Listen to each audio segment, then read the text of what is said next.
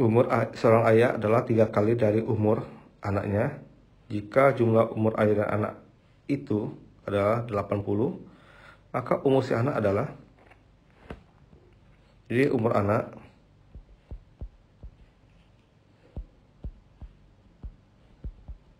adalah X umur ayah adalah 3X 3 kali X jika jumlah umur mereka adalah 80 tahun berarti X tambah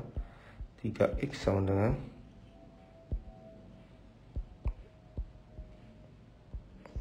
80 tahun maka 4x sama dengan